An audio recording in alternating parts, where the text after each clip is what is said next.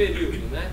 O que, que vai acontecer? Eu atraso um pouco o aparecimento dessas doenças, mas eu prolongo para 80 anos a minha expectativa de vida. Será que isso é real? E aí ele foi analisar os dados que ele tinha dessa população. E o que ele via é que, na verdade, quando o investimento em promoção de saúde e prevenção era bem precoce, ele conseguia atrasar bastante o aparecimento da doença, né? mas ele não conseguia aumentar muito a sobrevida, aumentava ligeiramente a sobrevida. Tá? Então, ele chamou isso, se vocês olharem, de hipótese da compressão da morbidade. Então, a ideia dele, que é, na verdade, o que acontece na prática, é que investindo em promoção de saúde, nós conseguimos aumentar um pouco a sobrevida, tá? melhorar, reduzir um pouco a mortalidade precoce, mas nós vamos dar muito mais anos de vida saudável para a pessoa. Ok? E por que, que essa mortalidade não há, né? Por que, que não vai aumentando? Porque essa é uma expectativa, né? Por exemplo, nos últimos 20 anos a população brasileira teve um salto de expectativa de vida brutal. Né, para que hoje é em torno de 72, 73 anos, se não me engano, a expectativa da população brasileira. No Japão é 82. Aí todo mundo fala assim, bom, daqui a 20 anos vai ser 105. Não vai. Não vai. Por quê? Todo mundo morre, né? todo mundo morre. Existe um fenômeno de mortalidade que é chamado fenômeno de mortalidade competitiva. Se não morre do coração, e eu começo a mexer nisso, vai morrer de outras coisas. Então, essa mudança, esse do perfil epidemiológico que a gente está vivendo hoje, porque as doenças infecciosas transmissíveis foram controladas no passado recente, é porque as doenças crônicas. Agora nós vamos trabalhar as doenças crônicas é, do tipo é, que influenciam a mortalidade cardiovascular, vão aparecer, vai aumentar a mortalidade por outras causas. Tá? Então esse fenômeno de mortalidade ele é competitivo, todo mundo morre. Então a, a expectativa de vida não é da, da, de que o ser humano vai viver eternamente daqui a mil anos. Tá? Então é legal a gente ter essa visão para a gente saber o que nós esperamos dos nossos programas implementados nas empresas, né? que não é prolongar a vida eternamente e tal. Se nós conseguirmos, investindo nisso, atrasar o aparecimento da morbidade, isso já é um grande passo e uma melhora significativa. Bom, em relação ainda aos pressupostos gerais das ações de promoção da saúde, além dessa expectativa que nós devemos ter em relação aos programas, lembrar que as doenças crônicas elas têm multicausalidade, ao contrário daquelas doenças uh, transmissíveis, infecciosas, que eram provocadas por agentes conhecidos únicos. Tá? Então nós temos que atuar em várias frentes simultaneamente, é mais complicado. A validação científica dos procedimentos, vocês vão me ouvir falar isso o tempo todo, né? eficácia da prevenção, relação custo-efetividade positiva. E um aspecto que a gente tem que levar em consideração é a questão da ética da promoção de saúde. Hoje, você abrir a Veja, isto é, a, a Época, a Saúde, a Cláudia, a revista que for, né, tem lá alguma dica boa de promoção de saúde. Será que aquilo é baseado em evidência científica? Será que aquilo lá, é, o que, que aquilo representa? Quem está por trás daquela informação? Nós acho que é, nós precisamos ser mais críticos em relação a isso, né? porque tem uma questão ética. E existe um potencial uh, nas ações de prevenção que nós não podemos descartar, que é é o potencial de prejuízo para as pessoas. Por isso que ela tem que ser validada cientificamente. Nem tudo que eu proponho pode, é necessariamente positivo. Tá? E só para mostrar, para ilustrar para vocês a questão, é, eu trago aqui um gráfico que mostra o que, que a gente espera. Imagine uma intervenção, é, qualquer que seja a intervenção, né, pode ser um programa para perda de peso, pode ser um rastreamento de uma doença, né, um check-up. Né? Se eu fizer uma intervenção precoce, comparado ao momento em que aquela pessoa fica doente e um diagnóstico é feito, este período que vai daqui até aqui ele é muito importante para a gente. Eu tenho que, no mínimo, manter a mesma qualidade de vida que a pessoa tem. Existem procedimentos que podem piorar esse período aqui. Né? Assim, a partir do momento em que eu antecipo, às vezes, o diagnóstico de uma doença, eu crio um problema que eu não necessariamente teria se eu fizesse o diagnóstico tardio. Tá? E o que, que eu espero? É que na medida em que eu antecipo o problema, eu dê um tratamento adequado, eu, dê, eu tenho uma intervenção adequada e que a pessoa melhore a sua qualidade de vida, ou não tenha mesmo, no mínimo, nesse período. Tá, tá, tá claro isso que eu estou falando? Tá. Ou então que eu tenha um ganho grande de sobrevida, eu aumente muito a expectativa de vida daquela pessoa, o que geralmente eu já mostrei não acontece. Por quê? Porque existe mortalidade competitiva. Então, por exemplo, eu posso investir muito na questão da mortalidade por câncer de próstata, mas a pessoa morre do coração. Tá? Então, é muito importante a gente ter essa noção de que prevenção, promoção de saúde, a intervenção ela tem que ser muito bem planejada para que neste período, pelo menos, a qualidade de vida da pessoa seja mantida. Ok? Ficou claro?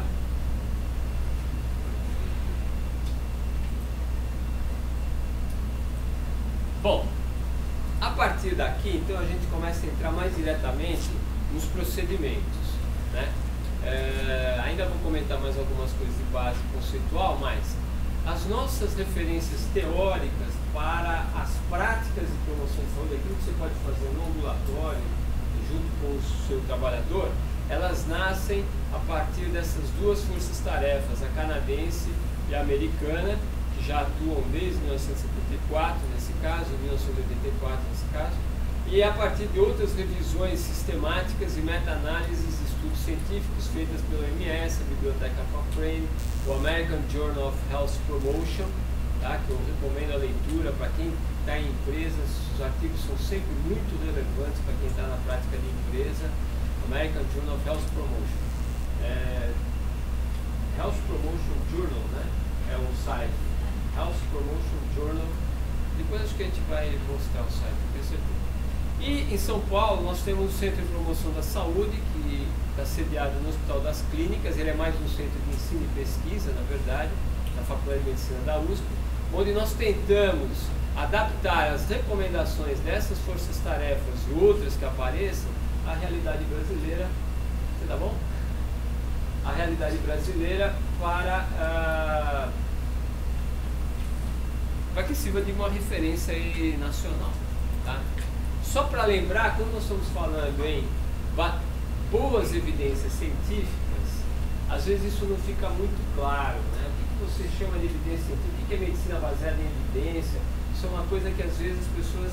Eu já é, eu até lembro de uma, uma piada de um colega meu de turma, nós estávamos numa reunião de 20, 20 ou 25 anos de formado, né? E ele. E aí um se apresentou, não, eu sou professor, não sei o quê, trabalho com medicina baseada em evidência e tal, e outro se apresentou, aí deu a volta e ele ortopedista, era o último da fila, falou assim, não, eu também como já foi falar que eu sou ortopedista baseado, trabalhando com ortopedia baseada em evidências, né? Ele era um gozador, aí ficou todo mundo meio assim. Não, o sujeito entra no meu consultório, bateu, está inchado, está doente, é evidente que está quebrado. Então, sabe, é uma, é uma forma, a gente. E várias, em vários congressos, seminários, às vezes eu percebo que as pessoas. Então, medicina baseada em evidência é uma metodologia, na verdade, de análise dos estudos que saem na literatura a partir de uma revisão sistemática das, das pesquisas, dos estudos e, quando possível, uma meta-análise dos resultados. O que, que, é isso? Não é, não é uma revisão de literatura. Eu seleciono da literatura os estudos que têm o melhor poder de, de definição, tá? o melhor poder de decisão, aqueles de melhor qualidade. Né? Eu, vou, eu vou exemplificar quais são os estudos de melhor qualidade seleciono, às vezes eu, eu parto, isso é muito comum hoje, vocês pegam o, o Journal of American Medical Association, JAMA, ou Archives, né? Tem lá, revisão sistemática sobre o assunto uh, suplemento de vitaminas. Partiu-se de, uma, de 350 estudos, mas somente 40 foram selecionados, porque os outros tinham erros, tinham problemas, então eles vão tirando, eles ficam só com aqueles estudos que têm uma metodologia muito boa. Isso é revisão sistemática. Aí eles pegam aqueles 40 que foram publicados na Dinamarca, nos Estados Unidos, na, no Canadá, enfim. Eles juntam todos e veem qual é a tendência geral. Isso chama meta-análise. Tá? Então essa é uma prática nova, né? é uma coisa relativamente recente para gente. Nós trabalhávamos, né? uma vez me perguntaram no congresso, o professor René Mendes estava na fileira, primeira fileira assistindo, né? se hoje se trabalha com medicina baseada, como que se trabalhava antes? Né? Então, na, na, verdade, antes não tinha essa visão mais sistematizada. Os estudos observacionais eles tinham o mesmo peso do que os estudos experimentais, né? não tinha essa seleção, era uma coisa menos. Né? E eu até fiz uma brincadeira na época, falei, olha, provavelmente muito do que se fazia, o que se faz ainda, né, é baseado em evidência, porque não tem muita evidência, evidência científica. Né? E aí o professor René achou engraçado e comentou isso com um amigo, e ele fez esse, essa figura aí né, do médico que trabalha com medicina baseada em evidência. É, não é exatamente isso, o contrário. Né? O, o, o, o que é interessante na medicina em evidência é que ela dá poder para o profissional né, trabalhar né, com uma, uma retaguarda boa científica, melhor do que aquela que a gente trabalhava antes. Tá? Só para lembrar o que são boas evidências científicas. Né? Existe uma gradação de tipos de estudo. É, um estudo que, o, que a menina dos olhos dos epidemiologistas é o ensaio clínico controlado randomizado. Então eu vou estudar uma determinada intervenção, seja parar de fumar, seja rastrear o câncer de mama, seja vacina da gripe. O que, que eu pego? Eu pego milhares de pessoas, sorteio aqueles é para quem eu vou oferecer o procedimento, sorteio aqueles para quem não vou oferecer o procedimento, acompanho aquele pessoal durante um tempo e comparo os resultados. Tá? Esse é um ensaio clínico controlado, com controle, né? randomizado, eu sorteei. Tá? Tem um ensaio clínico controlado não randomizado, em que as pessoas já se separaram naturalmente. Né? Já houve uma separação natural e não necessariamente por sorteio. Isso já pode trazer algum viés na interpretação, porque se você fizer uma campanha de vamos fazer rastreamento do aneurisma da horta abdominal na empresa, aí você chama as pessoas. Quem vem é diferente de quem não vem. Você já pode ter um viés. Quem vem pode ser aquela pessoa que se trata mais, se cuida mais, mais preocupada com a saúde, ou o contrário, o absurdo, aquele cara que está com muito medo de estar com aquela doença porque já está sentindo alguma coisa. Tá? É diferente daquele que, não, eu não vou, isso aí para mim é bobagem. Então é, a hora que você sorteia, você tira esse viés. Né? Enfim, existem outros estudos. E só para reforçar, né, a opinião de sumidades, consensos, essas têm que ser avaliadas com muita cautela. Tá? Porque não necessariamente os consensos são baseados em estudos científicos. Né? Depende muito da observação individual. Não que a observação individual não seja importante, mas ela pode ser enviesada. Se você pega um médico que atende uma população de alto padrão, que opera no melhor hospital da sua região, que tem uma formação perfeita, é um grande cirurgião, os resultados dele são diferentes, provavelmente, da média dos cirurgiões daquela especialidade. Né? Então, ele pode propor condutas que são implementadas nos conceitos, nos consensos, desculpe, são enviesadas em função da prática clínica dele. Tá? Então fiquem muito atentos a essa questão dos consensos. Bom, o que, que as task forces elas fazem? Então elas fazem esse, todo esse trabalho de medicina ou promoção de saúde baseada em evidências, né? prevenção de doenças baseada em evidências, e elas colocam uma gradação de recomendação. O A é quando o procedimento que elas analisaram é altamente recomendado.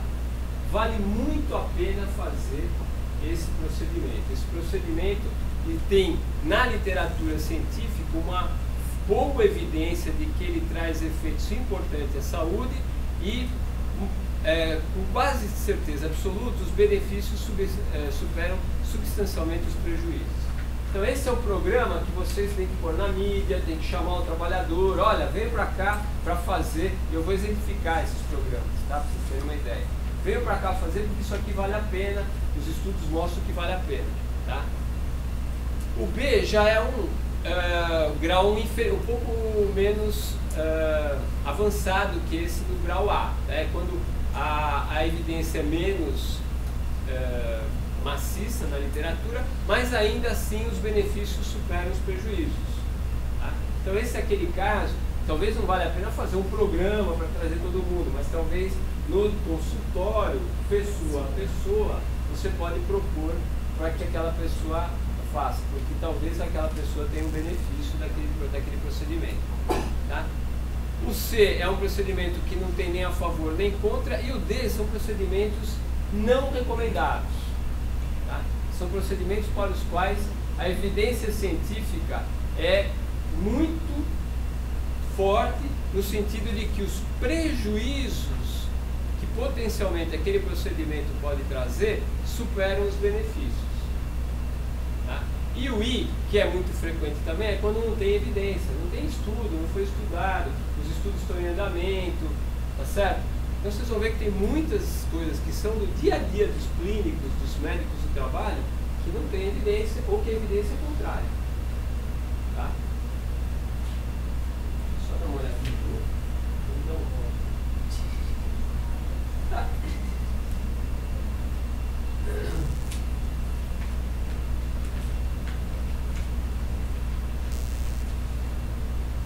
Bom, então, foi só um parênteses aqui. Quais são as recomendações da US Task Force em 2006? Isso aqui é uma lista das recomendações de procedimentos de aconselhamento, de rastreamento, um aconselhamento para tabagismo, para abuso de bebida alcoólica, alimentação não saudável, sedentarismo, exposição solar excessiva, rastreamento de hipertensão, o excesso de peso, obesidade, problema com álcool. Então, para tudo isso, eles fizeram essas revisões sistemáticas, analisaram e viram para que tem evidência, para que não tem evidência. Então, vocês têm uma lista aqui interessante para vocês se divertirem. Hoje à noite, quando ninguém vai estar todo mundo quietinho no quarto, sossegado, né?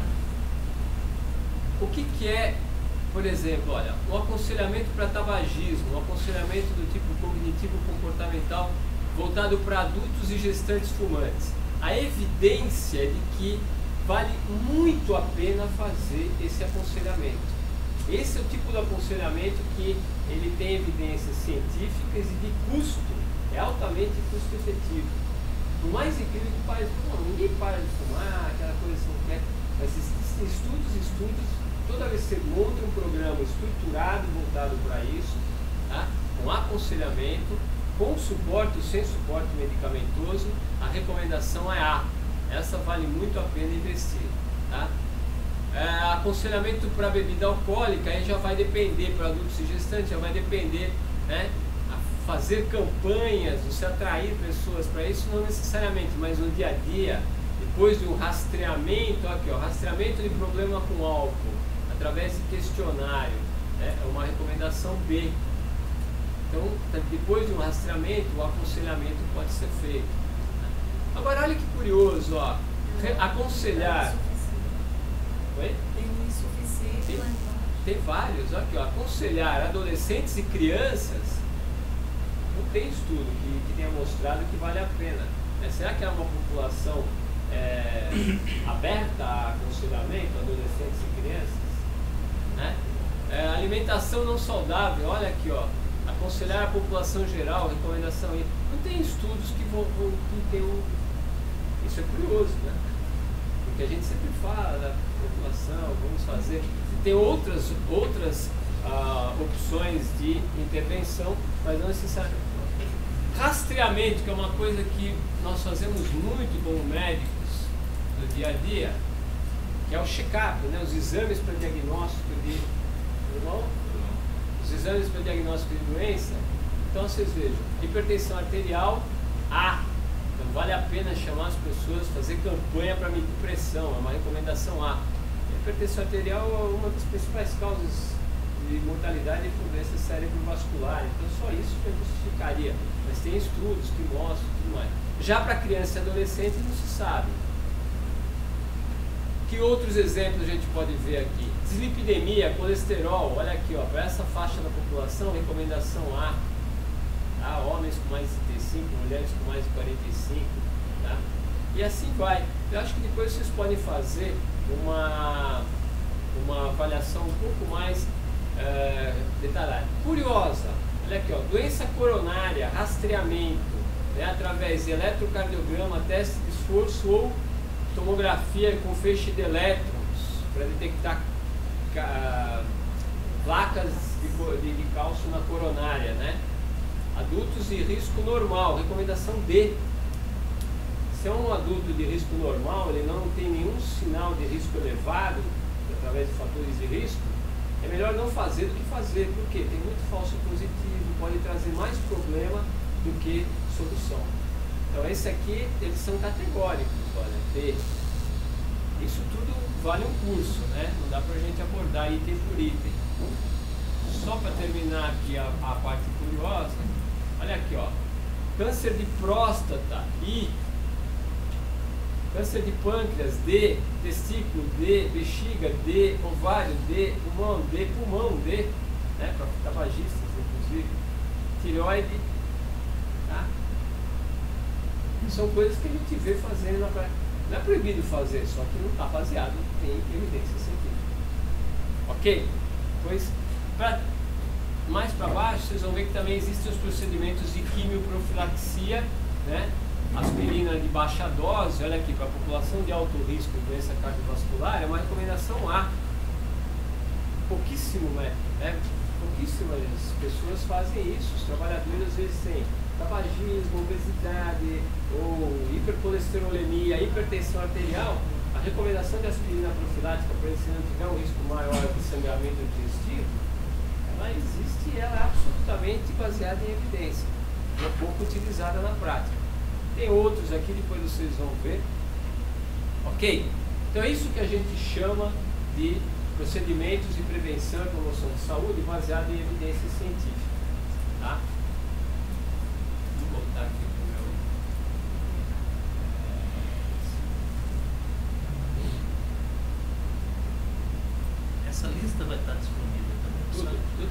Apresentando, inclusive o, a apostila do Centro de Promoção da Saúde vai estar disponível no site.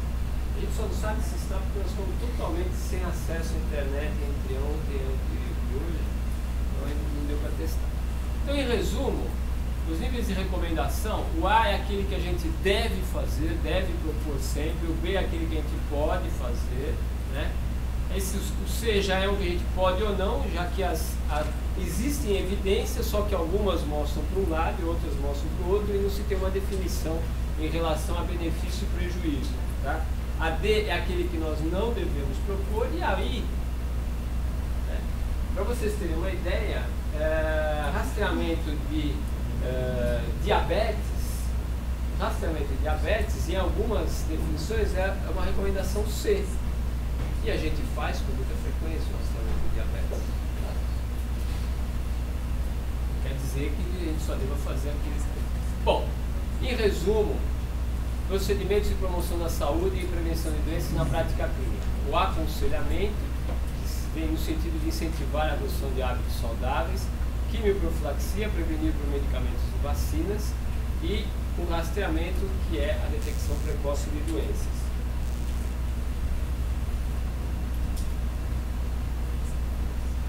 Bom, é, eu vou colocar aqui então aqueles que os sites da internet que eu falei, né? Da Canadian, da US. Esse aqui é um site que tem acesso, que dá acesso a vários outros uh, vários outros uh,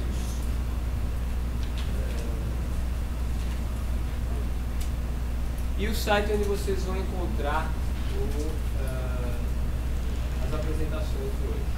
Ok? claro, alguma dúvida?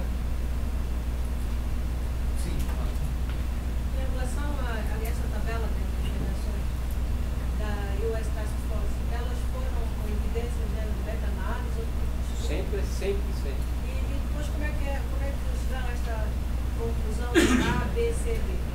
É dentro da metodologia deles. Toda vez que eles encontravam uma quantidade grande de estudos em que esses estudos da meta-análise apontavam para uma tendência que os benefícios eram muito grandes, ela era uma, uma recomendação A.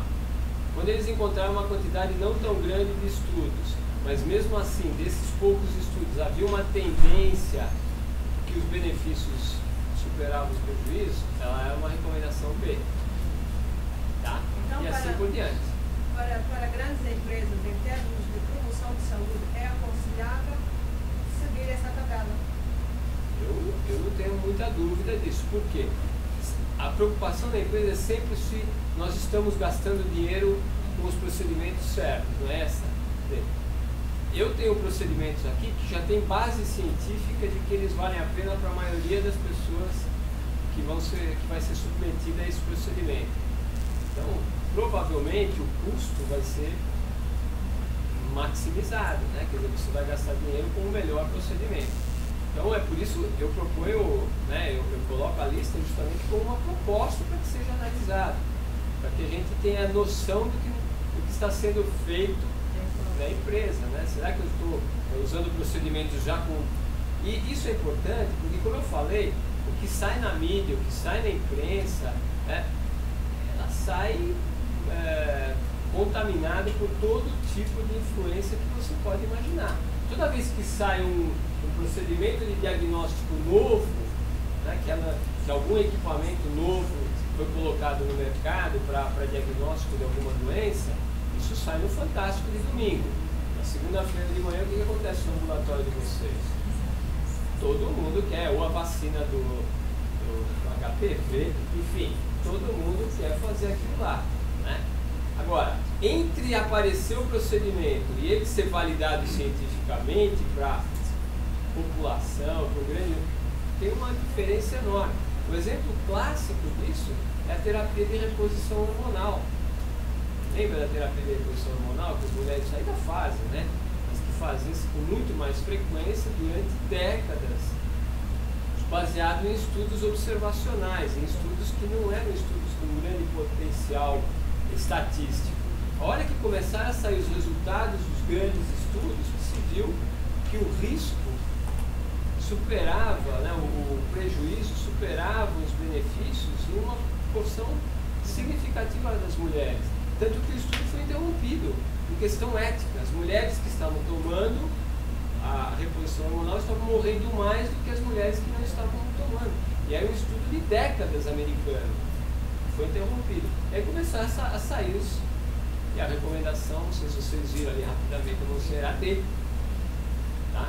Então hoje a reposição hormonal se reserva para uma parcela muito né, com um objetivo muito específico do tratamento do climatério e tal. Mas para prevenção de longo prazo, como se fazia, hoje não se justifica. Então, você fala, puxa, mas não se sabia antes? Não. Tá? Foram lá necessários. Mas o medicamento já estava no mercado, já tinha sido aprovado. Eu posso falar disso do medicamento, da vacina, do exame, do laboratório, do kit para diagnóstico e a partir do momento que ele está no mercado, existe sempre uma pressão para que ele seja feito. Isso é óbvio, né? Para que ele seja feito. Só que a gente tem que tomar o cuidado de saber se já está na hora de fazer aquilo. Por exemplo, é, é, existe hoje no mercado a vareniclina, que é uma droga para parar de fumar. Tudo que existe sobre a vareniclina que é um, é um bom estudo, mas é um um ensaio randomizado feito nos Estados Unidos, né, que mostrou que ela é melhor do que o Ziban, né, do que a bupropiona, ela é melhor do que o adesivo de nicotina e tudo mais, mas é um. Certamente ela vai estar no mercado, só que a hora que a gente começar a fazer os estudos é que nós vamos ter uma ideia melhor se isso é, real, é realidade mesmo ou se pode mudar. Tem mais uma questão. Pela sua experiência, o preconceito administração em termos de custo, como é que eu consigo provar à minha empresa que este, a implementação deste programa vai ser efetiva em termos de eficácia? Veja, eu acho que esse é um, esse é um assunto que é fundamental para o médico do trabalho. Né? Para isso, você tem que começar, a partir do momento que você adota suas intervenções, você tem que começar a buscar os indicadores. Vamos falar um pouquinho de indicadores na, depois da apresentação da doutora Ana Cláudia. Você tem que começar, para saber